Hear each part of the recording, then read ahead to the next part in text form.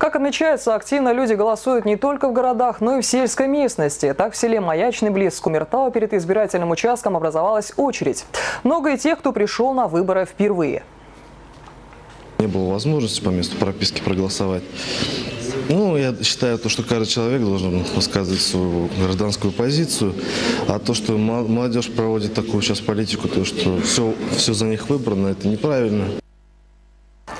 Люди идут, невзирая на плохую погоду. В самом Кумертау одним из первых проголосовал глава администрации города.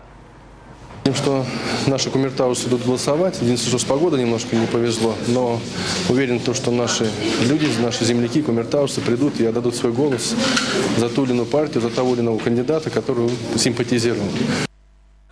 Отмечается, что пока все проходит в штатном режиме, без происшествий, должностные обязанности между членами избирательной комиссии распределены. Споров не возникает. На данный момент нарушений не наблюдается. Обстановка спокойная. Если какие-то были замечания, то они все были выполнены председателем комиссии и членами, членами комиссии. Все, в общем, в порядке.